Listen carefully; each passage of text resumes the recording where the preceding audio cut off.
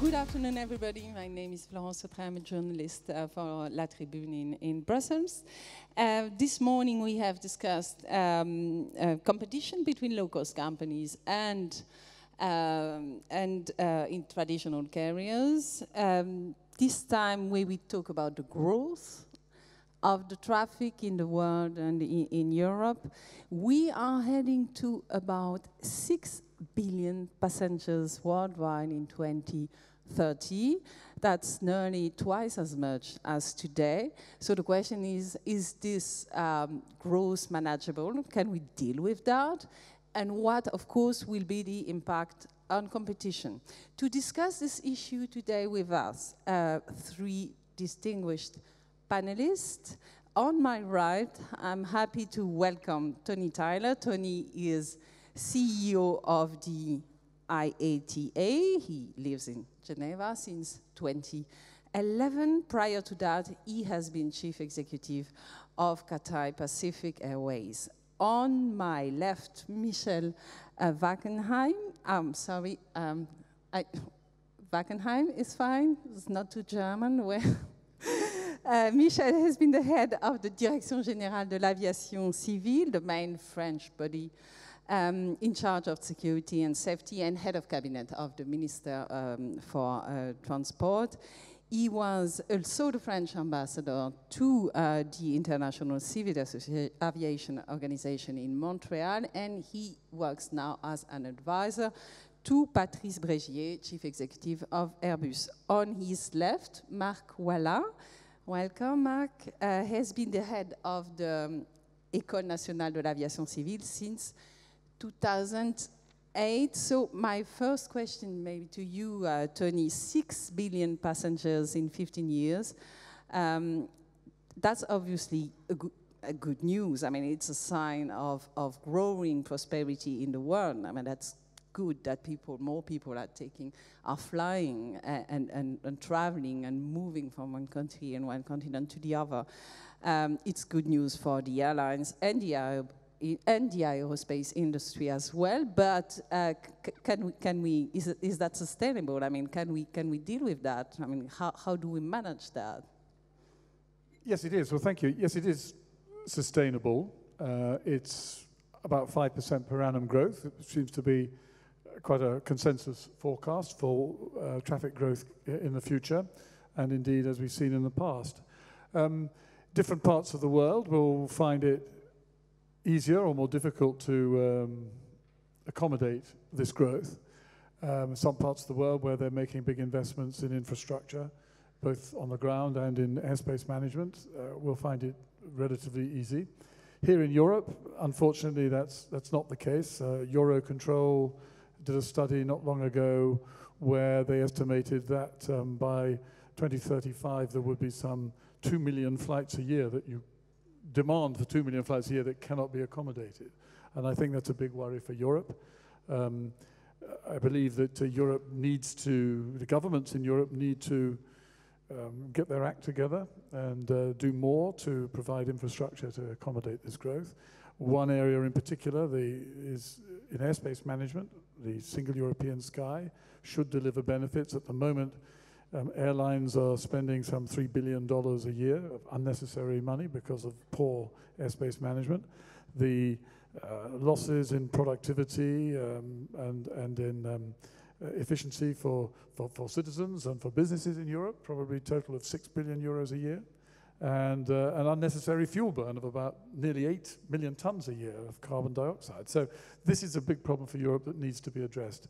Another ele element that could limit growth, of course, is the ability to finance aircraft. Um, unless airlines can produce sustainable returns, which generate uh, proper uh, returns above the cost of capital to their investors, uh, there has to be a question mark over the ability of the industry to finance the growth that's demand seems to uh, seems to be be there for does that mean that there's too much competition and the prices are, are, too low so that the investment of the airlines are not sufficient? Or is that a, a, a, a war, price war? The, the, the, many reasons why uh, returns are so poor. Strong competition is one of them, but um, excessive regulation, excessive taxation, and excessive cost of, of infrastructure is another. Very. Mark, um, I mean, this growth is obviously a challenge for your school, I guess, because um, if we have more planes, we need more pilots. We need more people in the air, more people on the ground. So, I mean, do we have already a shortage of qualified personnel or not? When will it come? I mean, when, when we, will we realize that actually we need more people and, and, um, and what can we do? Well, it's, um, it's kind of difficult to say. Um, you know, a shortage of qualified people in terms of uh, air transportation has been predicted for 15 years. And, and so far, nothing 50? happened. 15, one five. Uh, and, and so far, nothing has happened. So, um, and in, in terms, for example, of, of pilot shortage, um, if there was no, if there haven't been any uh, pilot shortage so far, is mainly because the airlines went through, you know, tighter rostering, uh, and, and then they, they could have compensated at the lack of maybe pilots. Means people work more. Oh yeah, absolutely. Yeah. Okay. That, that was the first point, but I think that right now we think all, all of them think that there is no anymore, let's say, put, uh, put that way, juice in the lemon, and, and then that in a, you know, uh, few years, um, maybe 10 to 20 years, there will be a shortage of quali qualified people. And there is, this is support and sustained by uh, an ICAO um, 20, 20 years forecast, which, uh, which states that probably there will be a, a shortage of pilots, uh, maintenance personnel, as well as uh, air traffic controllers.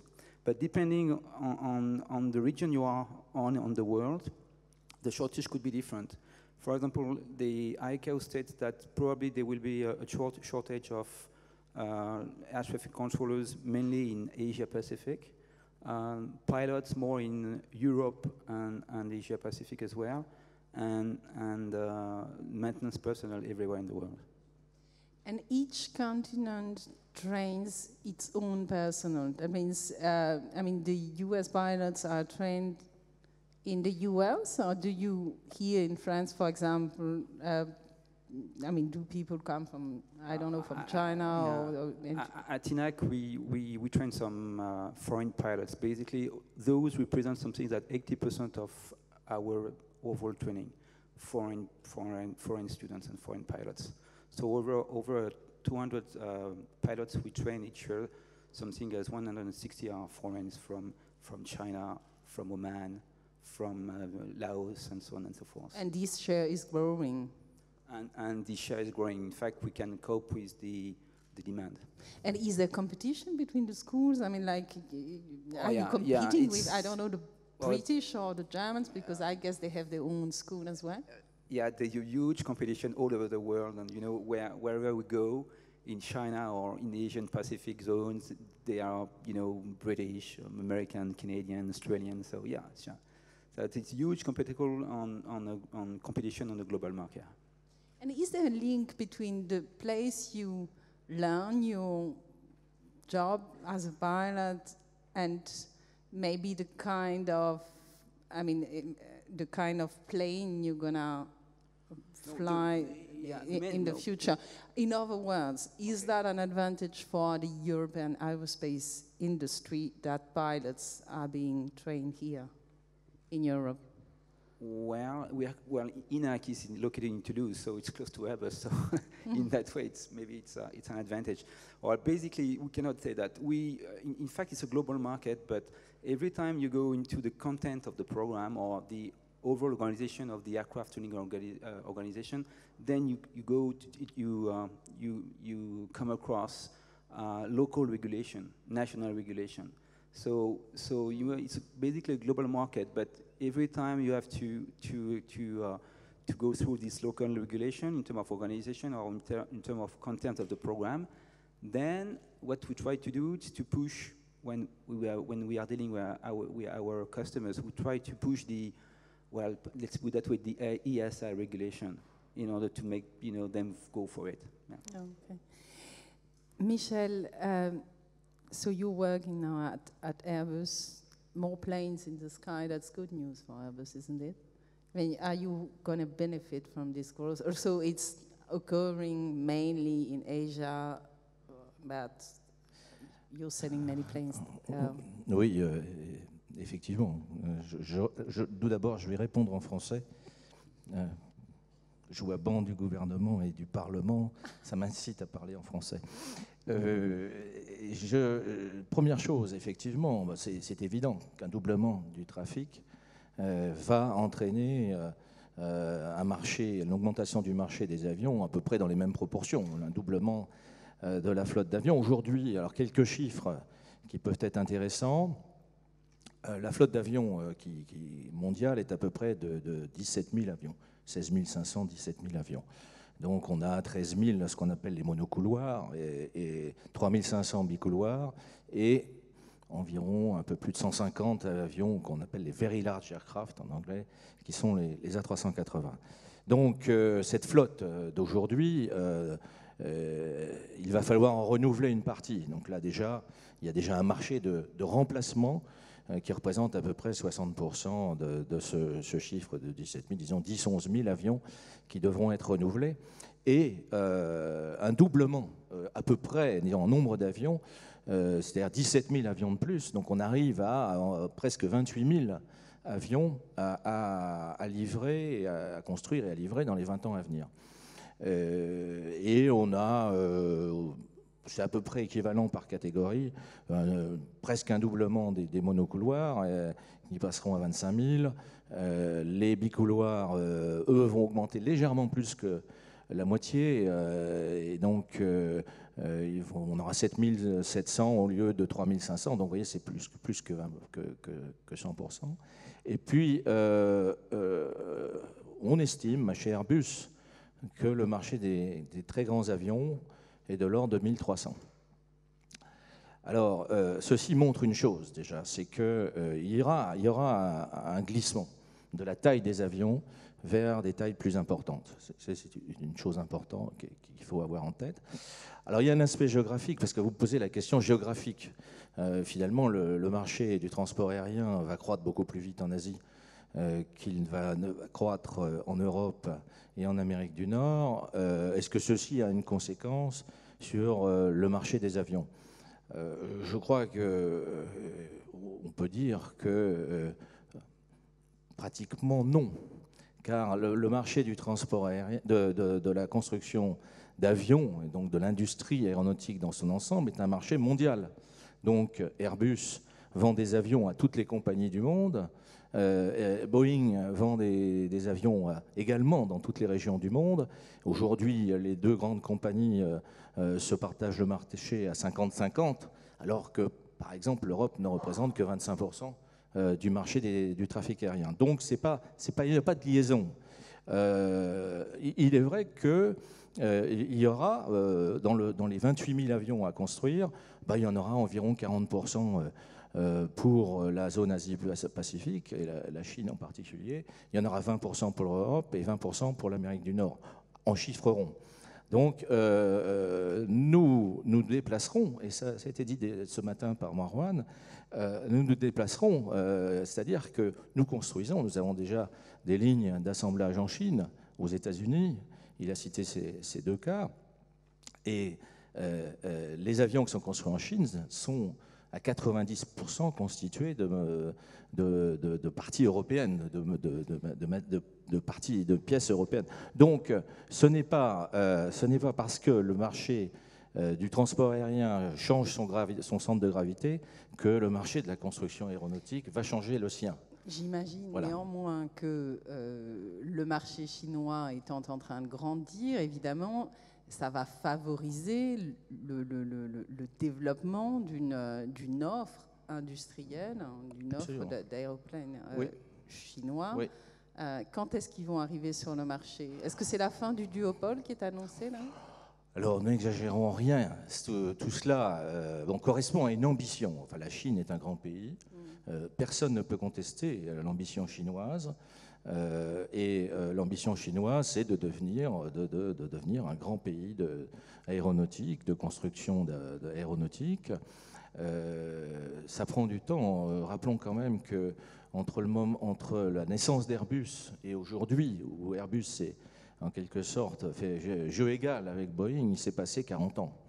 Donc il faut des dizaines d'années euh, d'expérience.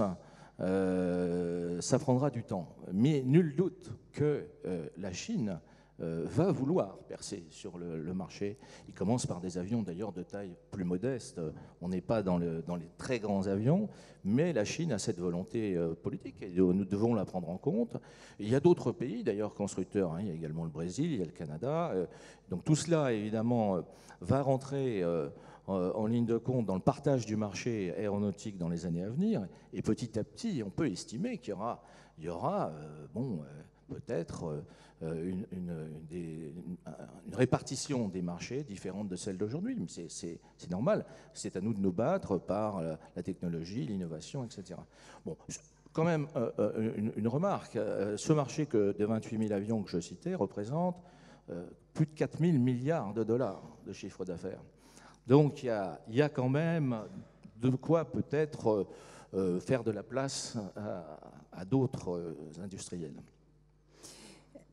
Tony, do you think it would be good if we had, I mean, more competition in the, in the aerospace industry? I mean, if the companies hadn't to face this duopoly between Boeing and, and Airbus, do you think it is wishable? We should have that? I mean, that the that the airlines are waiting for that.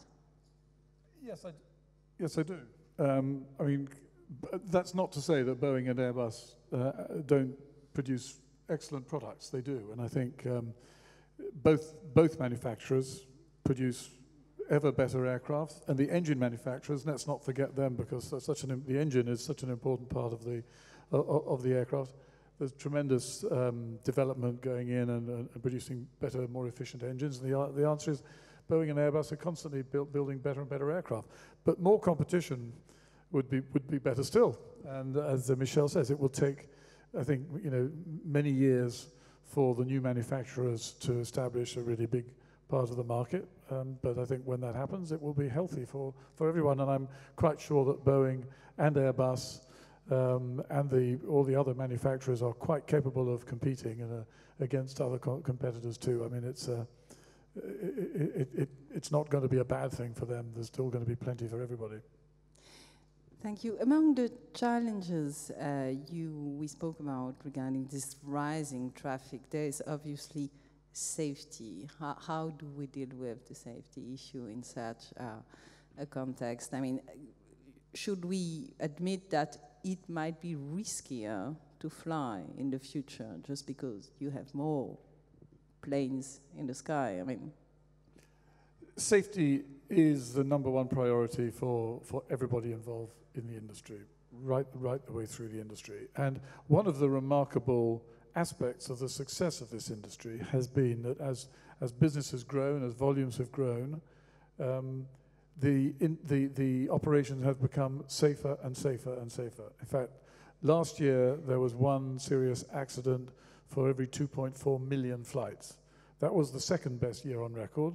The year before was the best year on record. And, and really, there's so few serious accidents now that, that you know that really you have to look at a longer period and you look at a moving five-year average it's still getting safer and safer so I, I see no problem at all in in the uh, operations continue to get safer even as volumes grow and if I can get back to my favorite subject the the, the, the, the single European sky I mean the target there is to increase safety by a factor of 10 even while increasing capacity by a factor of 3 how do you do that modern technology, um, experience, learning from mistakes, a just culture in all organizations which are operating in this environment, and constant vigilance, constant guarding against complacency, all those things.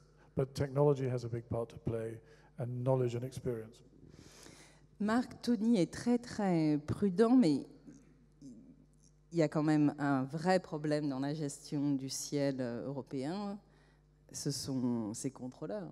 Euh, ce sont, pour le dire quand même, le, corporatisme terrible me semble-t-il, de cette profession, mais peut-être peut que j'ai tort et vous allez me le dire, mais la perception qu'on en a de l'extérieur, c'est que quand même là, on a quelque chose qu'on n'arrive pas à faire évoluer euh, et qui fait et qui quand même explique en grande part cette fragmentation. Alors, est-ce que cette perception qu'a l'opinion du problème du contrôle aérien est juste?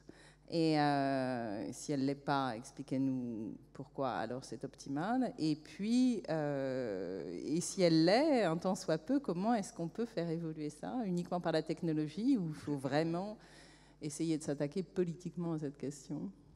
Je pense qu'il y, a un, certain nombre de, sujets que vous, soulevez là-dessus, dans, dans, votre affirmation. Alors, tout d'abord, euh, sur le conservatisme des contrôleurs aériens, euh, je, pense que c'est comme tous les métiers du transport aérien, ce sont les métiers, tous les métiers qui touchent à la sécurité. Euh, vous trouvez forcément du, corporatisme, mais c'est pas forcément d'ailleurs auprès, des, contrôleurs aériens. Euh, dans tous ces métiers, même dans la construction aéronautique, les, tous les process sont toujours un petit peu conservateurs et on fait toujours très très attention lorsqu'on on fait les changements.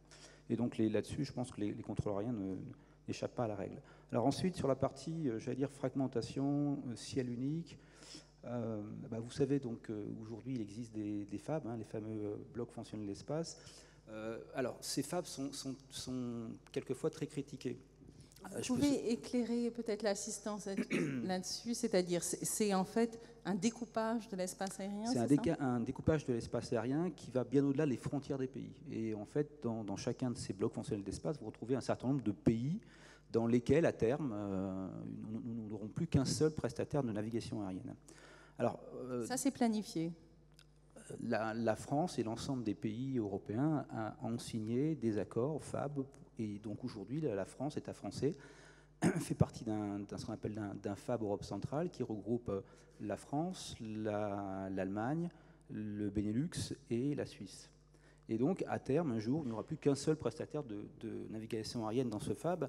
Et, moi, je vais vous livrer simplement euh, la, position du euh, du, euh, du, training center, donc du, centre de, formation, par qui tout commence. Parce que finalement, tout commence par le training. Or, aujourd'hui, au sein du, FAB Europe centrale, euh, nos partenaires européens et l'ENAC, nous avons travaillé à la mise au point d'un programme de formation des contrôleurs aériens unique. Ça veut dire que très prochainement, dans tous, les, dans tous ces pays-là, nous n'aurons qu'un seul programme de formation des contrôleurs aériens. Tout en anglais d'ailleurs, même pour les contrôleurs français. Vous voyez qu'il n'y a pas forcément que du conservatisme. Donc ça, c'est le premier point. Alors le deuxième point sur la fragmentation euh, dont vous parlez, euh, une façon d'améliorer les coûts, puisqu'en fait c'est ça qu'on recherche, c'est de dire on, va essayer d'avoir peut-être un peu moins de centres de formation. Et, ceci euh, a déjà commencé, puisque aujourd'hui l'ENAC va former les contrôleurs européens, enfin, les contrôleurs européens du Centre européen de recontrôle de Maastricht euh, et va reprendre l'intégrité de cette formation. Donc à terme, je pense que cette intégration se fera euh, pays par pays euh, pour finir sur un ou deux centres de, formation. Donc tout ça pour vous dire que même si on n'avance pas, enfin on donne l'impression de ne pas avancer à grands pas, de fait, l'intégration européenne se fait. De fait, elle se fait aussi dans, le, dans le, contrôle aérien. Et est-ce que vous pouvez nous dire en pratique, une fois que ces FAB seront en place, qu'est-ce que ça, j'imagine ça optimise le trafic, c'est-à-dire ça évite de faire euh, des zigzags, c'est un peu caricatural, mais enfin en tout cas ça, unifie le, ciel. Comment on arrive à ce résultat-là? Et ça permet de faire les économies de carburant dont parlait Tony, etc. en fait, ce qui, ça consiste surtout à essayer d'imaginer, donc ne pas s'arrêter aux frontières, d'imaginer des routes plus directes entre différents points euh, positionnés dans différents pays. D'accord. Merci. Euh, Michel, comment est-ce que euh, on adapte les avions à cette exigence de, sécurité? En fait, quelle est la contribution, pour le dire autrement, de l'industrie aéronautique à ces progrès incroyables en termes euh, de sécurité, alors même, encore une fois, que le trafic augmente euh, Qu'est-ce que vous apportez sur ce terrain-là? Bon, je crois que Tony a dit euh, l'essentiel, euh, c'est la sécurité, c'est effectivement un problème général euh, et, celui de l'industrie aéronautique en particulier, des concepteurs d'avions. Donc la contribution des, concepteurs d'avions, c'est évidemment d'affiner la technologie. Euh, je ne veux pas aller dans, le détail technique, mais euh, comme ordre de grandeur, disons qu'il y a 500 personnes qui, travaillent en permanence chez Airbus et uniquement sur des questions de sécurité. Bon, et puis, tout le monde, tout le reste euh, des 60 000 agents aussi sont passionnés et obsédés par la sécurité. C'est vraiment une, un objectif numéro un, comme, l'a dit Tony. Alors, de quelle façon bah, euh, Au niveau de l'avion, il y a de multiples façons euh, d'accroître la sécurité par des systèmes automatisés. Bon, par exemple, depuis un, certain temps et de plus en plus, on a des systèmes qui empêchent les avions de sortir de leur domaine normal de vol. C'est-à-dire quand le pilote, puisque finalement, euh, le, facteur humain est souvent le facteur le plus faible en matière de sécurité. Donc euh, euh, on essaie d'automatiser, de trouver des systèmes qui corrigent les erreurs éventuelles. bien sûr, je ne dis pas que les pilotes font des erreurs, c'est rare qu'ils en fassent, mais malheureusement, lorsque soit le pilote, soit il y a une défaillance d'autres domaines, et on ne va pas non plus tout mettre sur le dos des pilotes, eh bien, il y a des systèmes qui viennent en secours et qui empêchent euh, l'accident ou l'incident de se produire. Bon, euh, il y a un autre exemple, et, là je voudrais le citer parce que ça montre aussi Airbus est constructeur d'avions euh, d'une façon générale, mais Airbus en particulier anticipe sur la réglementation. Car bien souvent, il y a des gens qui pensent que si la réglementation ne, le requiert pas, il n'y a peut-être pas, besoin de le faire. Or, nous, on a un, esprit qui, consiste à anticiper, car nous savons qu'il euh, faut euh, faire les avions les plus sûrs du monde. par exemple, ce système qui empêche les avions de dépasser l'extrémité de piste, qu'on appelle le ROPS en anglais euh, bon, euh, et euh, ça, c'est quelque chose de nouveau. Et finalement, notre démarche, c'est d'essayer de le faire intégrer dans la réglementation.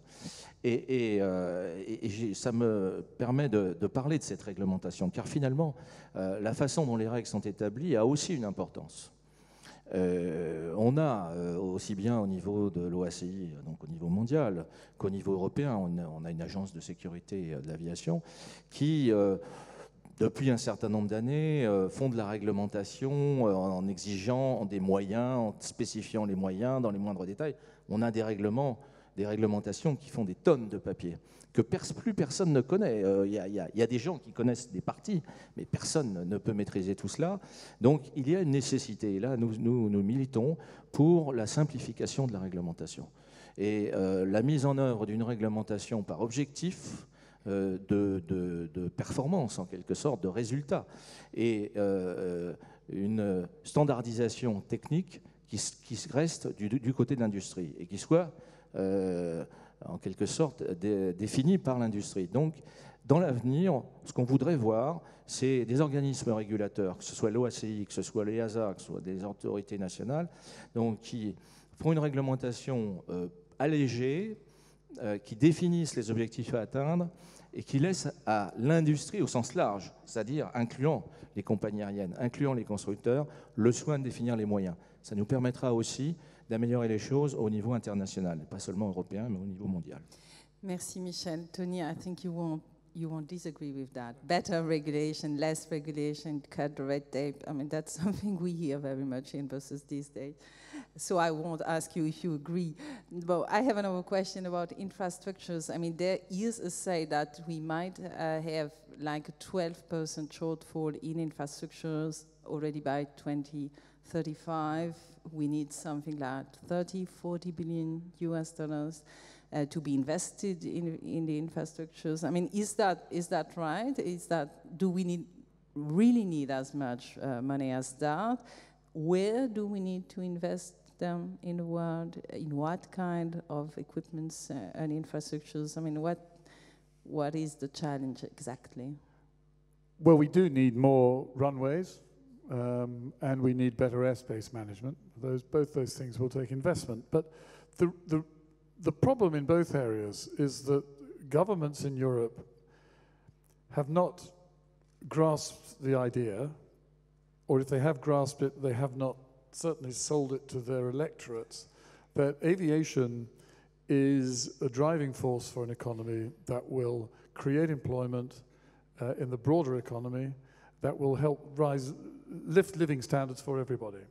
And so aviation is, is seen as a nuisance. It's seen as a noisy nuisance. And um, as someone said in a, a, a, a, conference last week, you know, the European, European governments don't like aviation. Um, and the problem is the political challenges to overcome to put new infrastructure in place are, are seen by politicians as just too big to trouble with. And so we have a situation, for example, we all know in, in the southeast of England, um, this badly needs more runway capacity. For years, their government has, different governments have for years put off a decision. Um, now they have appointed an airports commission a couple of years ago, and they deliberately told them, don't report until after the next election.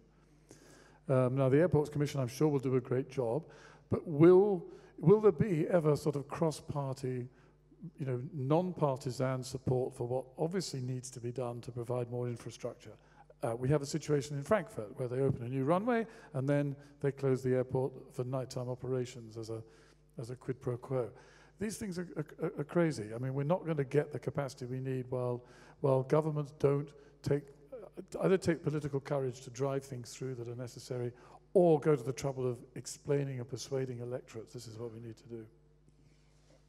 Thank you. Michel, est-ce que l'industrie, que ce soit l'industrie aéronautique ou les transporteurs aériens, a un rôle à jouer dans ce travail de conviction du public, euh, enfin pour essayer de changer la perception du public euh, vis-à-vis du transport aérien. J'habite euh, Bruxelles, c'est un sujet récurrent parce qu'il y a le fameux survol de Bruxelles par les avions et c'est vrai qu'on entend passer beaucoup, beaucoup, beaucoup d'avions. Le problème étant que les taxes vont à Zaventem chez les Flamands et les avions passent au-dessus de Bruxelles, qui est peuplé par des francophones, donc ça n'arrange pas les choses. Mais il y a des, non, mais il y a, y a, Nantes également avec cet aéroport, enfin ce serpent de mer du deuxième aéroport nantais. Enfin, on sent qu'il y a un problème de perception du public. Alors, est-ce que l'industrie a un rôle à jouer euh? je pense que tout le monde a un rôle à jouer, évidemment. Euh, bon, c'est aussi l'intérêt de l'industrie. Euh, de faire en sorte que la capacité euh, des infrastructures permette de, traiter le trafic, puisque si on ne traite pas le trafic, on n'a plus d'avions, euh, on vend plus d'avions, donc on est impliqué, tout le monde est impliqué. Alors qu'est-ce qu'on qu'est-ce qu'on doit faire? Bon, il y a la question environnementale. bon, elle, a déjà été évoquée, même dans les tables rondes précédentes. nous, en tant qu'industriels, ce qu'on peut faire, c'est faire des avions de moins en moins bruyants. Et il y a quand même eu beaucoup, beaucoup euh, de progrès. Euh, on cite souvent ce chiffre. En, 40 ans, euh, on, a gagné 75% en matière de bruit. Donc, entre, maintenant et, dans 20 ans, on peut espérer aussi qu'on gagnera. Et on a des, potentialités de, de, réduction du bruit. Prenons simplement la différence entre la 320 et la 320 Neo, donc le nouveau, nouveau 320 remotorisé, il y a 7 décibels d'écart. Donc euh, on, fera, on a certainement technologiquement la possibilité de faire des avions moins brillants. Est-ce que pour autant ça résoudra la question? Euh, On n'en sait rien, parce qu'il euh, il y a aussi une perception qui est un peu, enfin qui, qui n'est pas seulement liée au bruit. Il y a simplement le fait de voir des avions hein. Euh, au-dessus de, sa tête peut, peut être quelque chose d'inquiétant. Alors comme je l'ai entendu déjà, euh, il faut, il faut en quelque sorte euh, rendre le transport aérien et les aéroports positifs vis-à-vis vis-à-vis des riverains et de l'environnement. Peut-être que dans ce domaine-là, on n'est pas très très bon. Il faut le dire, dans l'aviation civile en général, euh, on fait beaucoup de progrès, mais on ne sait pas le dire. Donc là, il y a, peut-être des choses à faire, et, nous-mêmes, nous, pouvons le faire. Euh, je crois qu'aussi, euh, il n'y a pas que le bruit y a, pour la capacité aéroportuaire. il y a aussi le nombre d'avions, donc là je, laisse, on ne va pas revenir sur un débat sur la circulation aérienne et les capacités de piste. nous, ce qu'on voudrait, c'est que là encore, les, règles soient optimisées. On, on, fabrique des gros avions, des A380.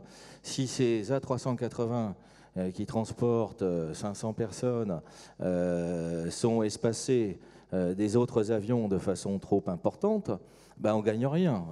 Puisqu'en termes de passagers, on gagne sur la capacité de l'avion, on perd sur le nombre d'avions. Donc là aussi, nous, on veut travailler, on continue de travailler très très euh, assidûment sur ces questions-là. Euh, il y a euh, tout ce qui concerne l'optimisation de, la, navigation aérienne. On en a déjà parlé. Les projets européens, César, ces futurs projets qui optimiseront les performances du système eh bien, euh, c'est aussi euh, un, problème des industriels. Et, vous savez qu'Airbus est, partie prenante, et même la première partie prenante dans ce projet européen. Donc, euh, ne nous cachons pas la réalité. Il y a un problème de capacité. et, et il faut au moins 20 ans maintenant pour construire un nouvel aéroport, si encore on peut le construire. Enfin, l'exemple de Notre-Dame-des-Landes est quand même quelque chose d'extraordinaire. Ça doit faire 40 ou 50 ans que cet aéroport avait été euh, planifié. Mais il faut le construire ou pas, non Ah ça, je ne sais pas. Il faut demander aux, gens qui représentent l'État. Je ne représente plus l'État, mais... Euh, je ne demande pas de répondre au nom de l'État. mais mais, mais euh, en Europe, on a un vrai problème. Alors, regardons ce qui se passe en Chine. Ils ont un programme de, de 50 aéroports en 5 ans. Imaginons. Ça fait en moyenne un aéroport par mois. Donc là, il faut peut-être observer aussi euh, ce que font les autres. Aux États-Unis, euh, ils ont aussi des problèmes d'environnement, des problèmes de bruit, mais peut-être qu'ils les traitent différemment et de façon plus radicale. Donc on a peut-être aussi des choses à apprendre euh, en dehors de l'Europe sur le plan de, l'environnement. Mais il y, aura en Europe des questions de capacité. Alors qu'est-ce que ça va produire? Ben, Ça va avoir des conséquences sur la taille des avions. Et c'est pour ça que nos prévisions euh, de, flotte, comme j'évoquais tout à l'heure, tendent à, montrer qu'il y aura une augmentation euh, du nombre d'avions, euh, ce qu'on appelle les très gros avions. Mhm. D'accord. Marc, vous qui connaissez très bien la situation en, France, un des problèmes pas seulement à Paris, mais en Europe, effectivement, de, et l'accès aux aéroports, en fait, la desserte des aéroports. C'est parfois un cauchemar de, rallier Roissy.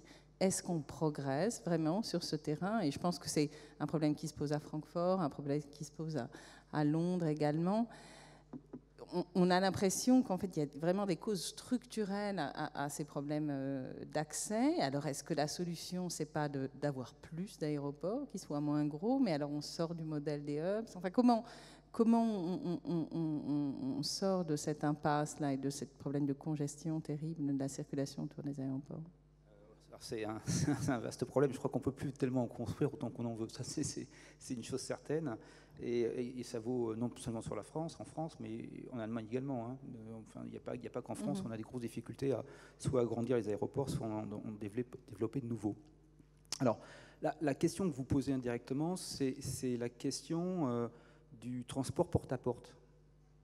C'est-à-dire, en fait, ce qui compte finalement, euh, c'est pas tant le, transport euh, entre un aéroport et un, autre aéroport, mais c'est le temps que va passer le passager de sa porte jusqu'à euh, la porte de, la destination. Et, ça, effectivement, c'est un, concept qui a été soulevé par le, et, étudié aujourd'hui. En tout cas, il y en a un certain nombre d'études euh, qui sont euh, proposés par l'Union européenne sur ce concept. Et je crois qu'il est prévu qu'en en Europe, on ne dépasse pas trois heures de porte-à-porte. Alors parce qu'effectivement, ça ne sert à rien de, de mettre des, pressions euh, énormes sur le contrôle aérien qui doit gagner 2 minutes, 3 minutes, 4 minutes de vol, alors même que vous allez perdre une heure dans les transports terrestres. Donc c'est ce nouveau concept de, de porte-à-porte, de transport-à-porte qui est en train de se développer en Europe, et ça pose ensuite le problème de l'intermodalité. C'est-à-dire en fait comment je vais ensuite pouvoir me connecter une fois que je suis dans, l'aéroport euh, pour aller euh, au centre-ville ou ailleurs. Et c'est pour ça que vous avez un certain nombre d'aéroports dans le monde d'ailleurs qui, qui, commencent à développer ce qu'ils appellent le smart airport, c'est-à-dire où le passager qui doit se rendre momentanément dans une ville, plutôt que d'aller en ville, va rester sur l'aéroport. Et donc on va développer autour de l'aéroport un certain nombre de facilities de manière à ce que à éviter aux passagers de se rendre euh, sur, en ville. Donc c'est effectivement ce, problème que vous soulevez, le problème d'intermodalité, c'est le prochain, euh, la, prochain dilemme, la prochaine problématique euh, du transport en Europe. Ça c'est clair. Merci Tony. Um, there's a problem of infrastructure, there's a problem of noise. there is a problem with uh, CO2 emissions as well. And um, the EU has tried to export its policy, which is very ambitious, uh, in the rest of the world as regards the limitation of CO2 emissions. Uh, we had a major blow with the Chinese. I mean, the rest of the world doesn't agree, I mean, don't agree. I mean, they don't want to buy their European system as it is, or as the Brussels try to sell to them, at least. So, um, I mean, but still, there are international negotiations. We'll try to find a solution. The uh, OACI has a deadline in 2016 to uh, propose a global system. And will that deliver? I mean, will, will we have actually a proposal on the table in 2016 and a system of global control of CO2 emissions in 2020? I think, I think we will. Hello?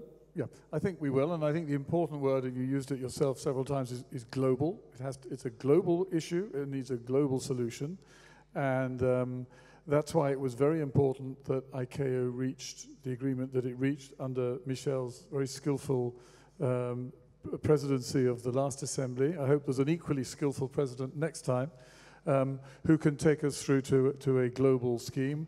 Progress is, is going well. I, I was in I, I was at ICAO yesterday and uh, following up on how things are going, and there's good progress, but the, and the needs, that momentum needs to be kept up. I'm confident we can reach a global deal because we need to, but but let's not let's not think that that is the only thing we need to do about managing our emissions. Far from it. The the industry has a four um, a four point strategy, and, and certainly having a global emissions um, uh, um, uh, scheme, market-based measure scheme is, is one important component. But another important component is investment in infrastructure. We've talked about that. Uh, the third one is, is technology. Um, biofuels will have a big impact there, and we, we need governments to help get the biofuel business going because at the moment biofuels are expensive, so people don't use them. Because they don't use them, the volumes are small, so it's expensive, and we need to break out of that cycle. And the fourth one is more efficient operations, and again, governments can help there by, um, by, by helping with better regulation and more efficiency generally. So let's not think that the market-based measure scheme is the only thing we need to do. We need to do a lot more than that.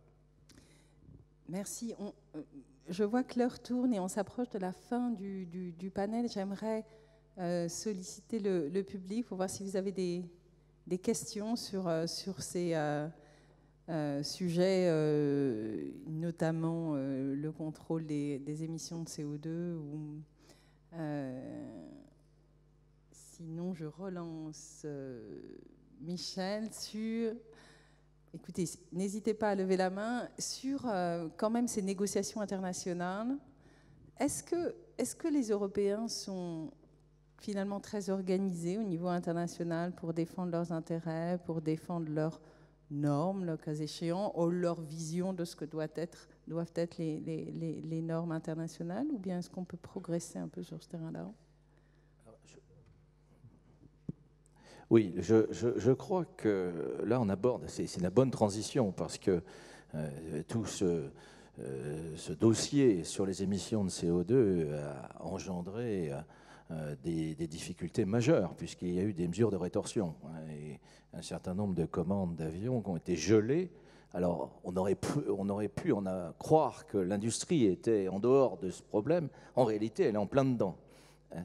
Et pourquoi ça s'est passé ainsi euh, Je crois que, euh, pour dire les choses simplement, euh, au niveau européen, on n'a pas pris, on n'a pas complètement pris la mesure de la façon dont fonctionnait le système multilatéral mondial.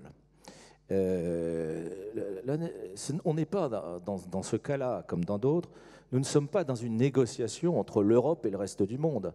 Et euh, en, présentant les choses comme une négociation entre l'Europe et le reste du monde, ben évidemment qu'on s'exposait à de graves déconvenus, puisque nous ne représentons que 20 à 25% des pays du monde. Donc à l'OACI, il y a 191 pays. Euh, on était très loin d'obtenir une majorité. Ça, c'est une première chose. Mais la seconde chose, c'est une, question de méthode. Euh, cette organisation, elle a été créée maintenant il y a 70 ans. On va fêter le 70e anniversaire euh, le, 6 décembre prochain. depuis l'origine, elle a fonctionné sur la base du consensus, du compromis, c'est-à-dire que les États membres de l'OACI se réunissent pour atteindre euh, des accords qui ne sont pas le maximum de ce qu'ils souhaitent au départ, mais qui sont des, compromis que l'ensemble peut supporter. Ça a bien marché pour la sécurité, pour la sûreté et l'environnement depuis 40 ans. Euh, là, sur la, question des émissions, le bruit, bruit euh, donc est traité depuis 40 ans, les émissions aussi, hein, de, mais d'oxyde d'azote, c'est-à-dire les émissions locales autour des aéroports. Mais en ce qui concerne les émissions de gaz à effet de serre, c'est un phénomène nouveau. Et euh, cette fois-ci, l'Europe, en quelque sorte, a, voulu, je ne dis pas imposer, mais a prétendu euh, qu'au titre de sa souveraineté, elle pouvait imposer quelque chose à tous les avions qui touchaient l'Europe. Or, le système aérien n'est pas organisé de cette façon-là. Il y a des accords entre les États. Il y a la Convention de Chicago d'une part, et puis il y a tous les accords bilatéraux entre les États. Et donc, lorsque un État, quel qu'il soit, et bien sûr euh, dans, dans, le cadre de sa souveraineté, veut euh, et euh, imposer, négocier euh, des choses avec un autre État, eh bien, il faut qu'il lui parle. Et, là, euh, malheureusement, il y a eu un déficit de ce point de vue-là, disons les choses ainsi. Donc on a, il y a un problème de, forme et de méthode, je peux vous le dire. J'ai présidé cette assemblée et il se trouve qu'au cours de l'assemblée, sur ce point-là, j'ai rencontré 40 délégations séparément.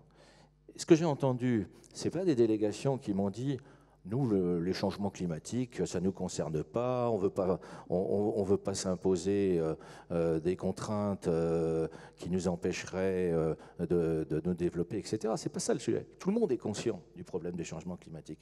Mais il y a un problème de méthode. Il faut pouvoir discuter au niveau multilatéral. Et là, on a des efforts à faire. Je ne dis pas qu'on n'est pas efficace dans l'ensemble parce que l'Europe reste encore une grande région. Elle est, euh, avec l'Amérique du Nord, encore euh, l'une des deux grandes régions aéronautiques, bientôt euh, la Chine. au niveau technique, on a de, très bons experts qui, qui, participent au groupe de travail et qui élaborent la réglementation. Mais lorsqu'on tombe dans des questions politiques, alors là, on est un peu moins bon et il faut qu'on adapte notre façon de travailler, c'est-à-dire on n'est pas euh, en train de négocier, on doit négocier avec 191 États, ce n'est pas une négociation bilatérale, et il faut donc euh, bah, être prêt à faire des compromis. Mais on a vu, euh, sur, plus généralement sur les négociations sur le climat, par exemple, que derrière cette discussion, il y a vraiment des enjeux géopolitiques. Comment se passe la, relation, par exemple, avec les pays asiatiques, avec les puissances asiatiques dans ce genre d'enceinte, dans ce genre de discussion? Qu'est-ce qui est exactement en jeu et finalement quels, quels, intérêts sont en jeu et, quelle est leur position, leur stratégie? Oui, alors sur le, problème précis des, changements climatiques, euh, effectivement, on avait euh, une complication supplémentaire, si j'ose dire, c'est que euh, l'aviation est un, bon, un élément euh, de l'ensemble de la discussion climatique, mais ce n'est que 2% des émissions.